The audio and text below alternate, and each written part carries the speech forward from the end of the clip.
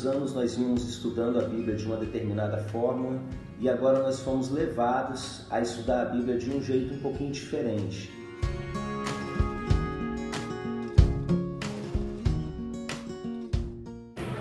A experiência está sendo maravilhosa, assim, eu nunca tive uma experiência igual essa. E esse jeito aqui para mim novo, é novo e é diferente e é muito gratificante, porque não só uma pessoa fala. É de uma forma simples, como tá todo mundo em conjunto, a gente lê, às vezes o que tem, o que tem mais dificuldade o outro acaba ensinando de uma forma que fica tudo muito simples, então todo mundo sai daqui entendendo tudo e é muito bom.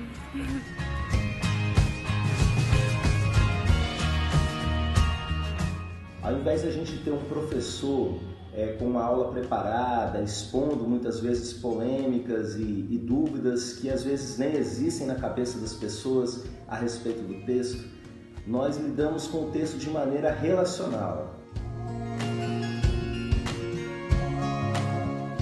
Não só uma pessoa que aprende, todo mundo tem direito de aprender, todo mundo consegue um espaço para poder ouvir a voz de Deus.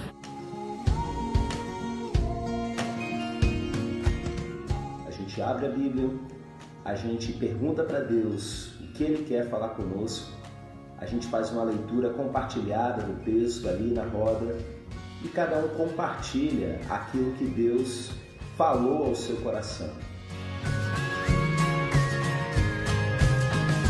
Tem sido muito abençoador, realmente eu tenho aprendido, eu tenho me sentido assim cada dia, cada domingo, com mais vontade de vir, de estar aqui presente. Para mim tem sido muito gratificante participar disso.